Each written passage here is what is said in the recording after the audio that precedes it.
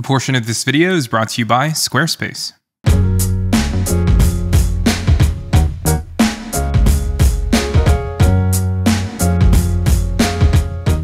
Hey, welcome back to the channel, and this is the Google Pixel 7, the non-pro version, and this is the phone that I think most people should buy if you're looking to upgrade to a Pixel 7 series phone. Whether you're coming from an older Pixel phone or maybe you're switching over from a different OEM, I really think that the Pixel 7 is smartphone of the year worthy. Let me tell you why. Okay, so first things first, if you haven't seen my review on the Pixel 7 Pro, I'll make sure to leave that linked in the description below. But basically, I use the Pixel 7 Pro as my phone exclusively for three weeks and have been using this smaller Pixel 7 shortly after my review went up, and it's pretty much what I experienced last year when I switched from the 6 Pro to the Pixel 6. The smaller form factor is really nice, and the flat 90Hz display is just beautiful.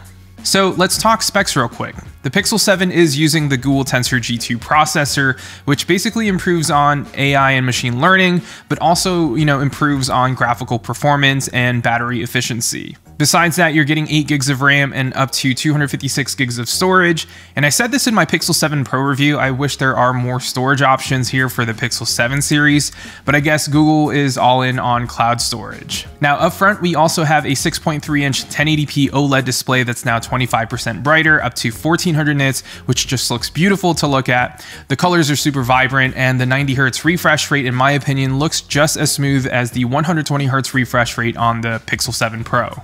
Okay, so now that we got some of the basic specs out of the way, the camera bar on the back, just like the 7 Pro, is made out of aluminum, which looks more premium than the glass camera bar from last year. And since this doesn't have a dedicated telephoto lens, you're only getting an ultra wide and the main wide camera. And we'll talk more about its camera capabilities later in the video.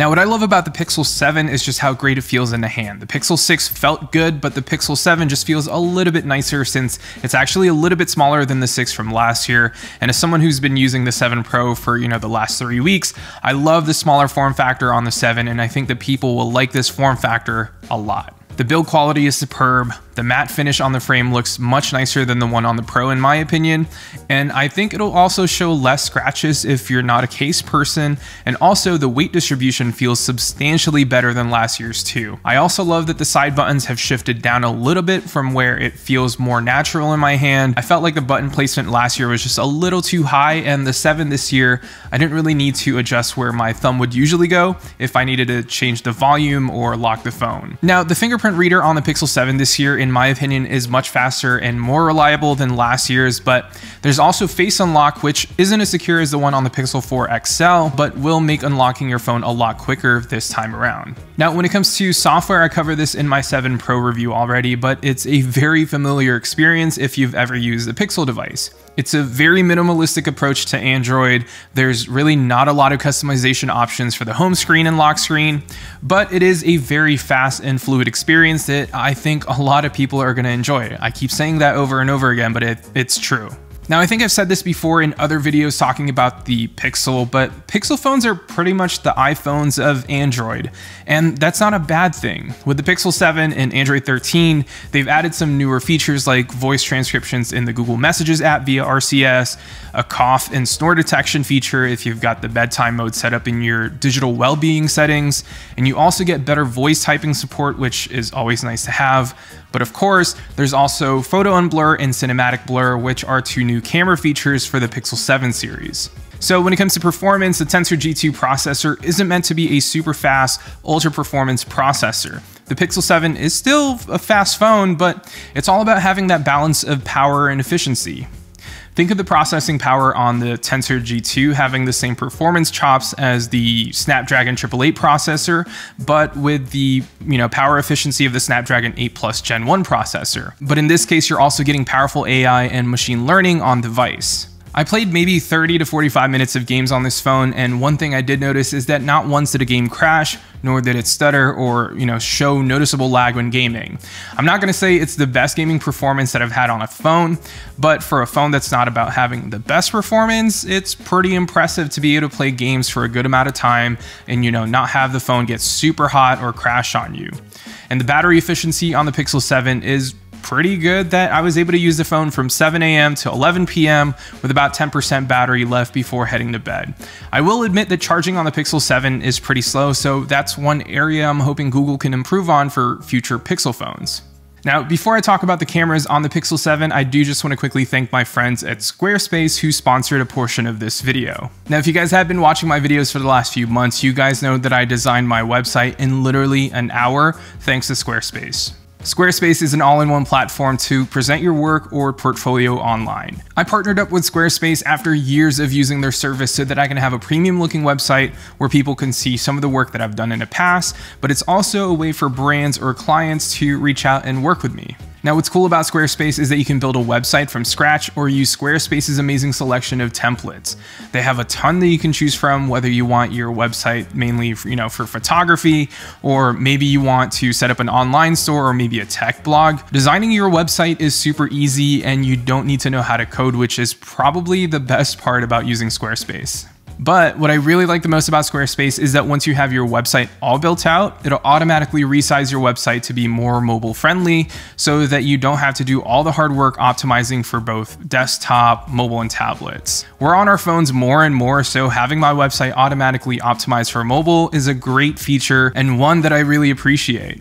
If you've been wanting to build your dream website, make sure to check out the first link down below and check out Squarespace. You can get a free trial and 10% off by using the first link in the description or go to squarespace.com slash MARKL. Again, special thanks to Squarespace for sponsoring a portion of this video. Okay, now let's talk about the cameras. Now, what I really like about the Pixel 7 this year is that Google didn't really mess with a lot of things on the Pixel 7 series. They knew that the Pixel 6 had a great camera system and how can they improve it? First, they use the Tensor G2 processor to add a few new software features like photo unblur, which will help you take any photo with the magic of AI and machine learning and can turn those blurry photos into sharper looking images. Now, not all photos are gonna look great, but it is nice that you don't need to use the Pixel 7 camera to use this feature.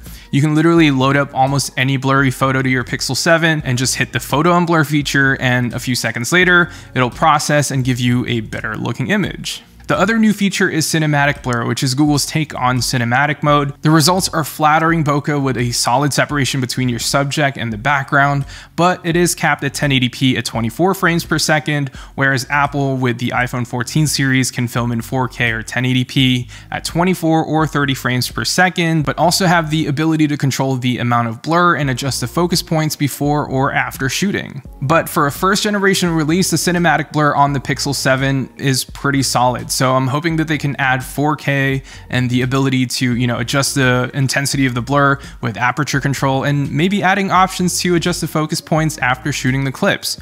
But we'll have to maybe wait another year and see if they do improve this. And yeah, besides those two new features, the camera system on the Pixel 7 is pretty much unchanged from the Pixel 6.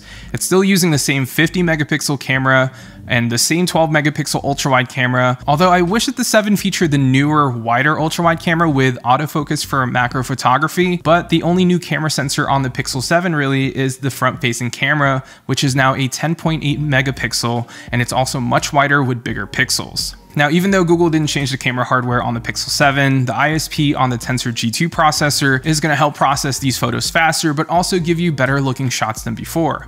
So that means how it processes your photos colors, the sharpness, and you know the white balance in each photo are gonna look more accurate than before. Now, another thing that the Tensor G2 enables is 4K 60 video recording on both the main wide camera and ultra wide and the front facing camera, which the Pixel 6 couldn't do last year. Overall, the camera upgrades are minor on the 7, but the way it shoots and how the final images look are great, and having that 2x digital zoom lens without it looking like a potato is a really nice touch. But yeah, that's the Pixel 7 in a nutshell. I think the Pixel 7 is the best Android phone that you can buy at the moment. With a starting price of 599, you can't really beat that. The cameras, the build quality, the software, and how stable it's been for me over the last month that I've had the phone just shows that Google is really refining what they did with the Pixel 6 and trying to perfect it. Personally, I've never had any modem issues or the phone overheating when, you know, gaming, but who knows how this phone will perform six months from now. But a month in with both the 7 and the 7 Pro, I think Google's doing something right here.